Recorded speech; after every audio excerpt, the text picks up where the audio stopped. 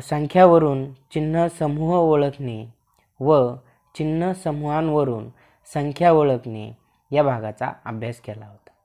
या भागामध्ये आपण या उदाहरणांमध्ये येणाऱ्या गणिती क्रियांचा अभ्यास करूया व ते कसे सोडवायचे हे पाहूया. मित्रांनो या उपघटकातील प्रश्नात काही अंक दिलेले असतात व त्या अंकांखाली काही चिन्हे दिलेली असतात. प्रत्येक अंकाखाली त्याचे सांकेतिक चिन्ह दिलेले असते यावर आधारित गणिती प्रश्न आपल्याला विचारले जातात.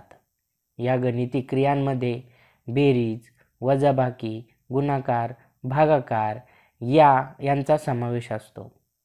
त्यांना आपल्याला कंचे भागू बेव या क्रमाने सोडवावे लागतात. म्हणजेच कंसातील भागाकार गुणाकार बेरीज वजाबाकी या क्रमाने आपल्याला गणिती क्रिया करायच्या असतात. तर मित्रांनो आपण एक उदाहरण पाहूया. या समीकरणामध्ये पाच अधिक कंसामध्ये तीन गुणिले दोन वजा सहा भागिले तीन या प्रकारचे समीकरण दिलेले आहे. तर सर्वप्रथम आपल्याला कंचे भागू बेव या क्रियाप्रमाणे कंस सर्वात अगोदर सोडवा लागेल व कंसातील भागाकार अगोदर करावा लागेल. सहा भागिले तीन उत्तर येईल दोन म्हणून आपले समीकरण होईल याप्रमाणे.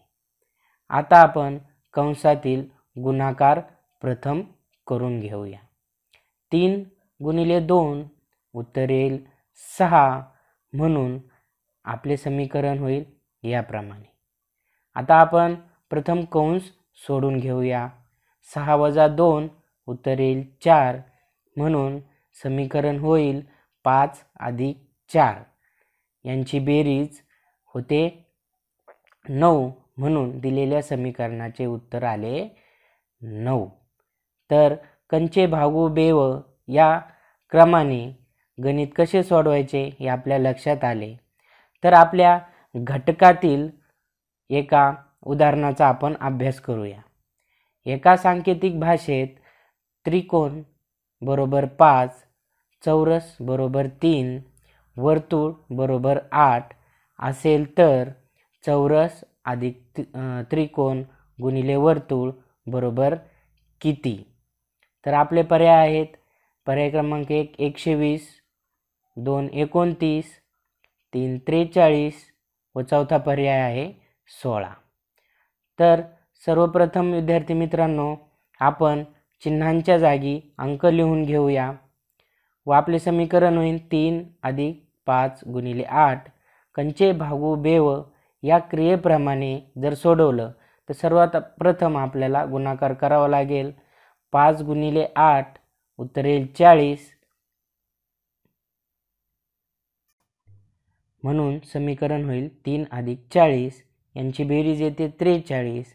म्हणून आपल्या या उदाहरणाचे उत्तर आहे पर्याय क्रमांक तीन.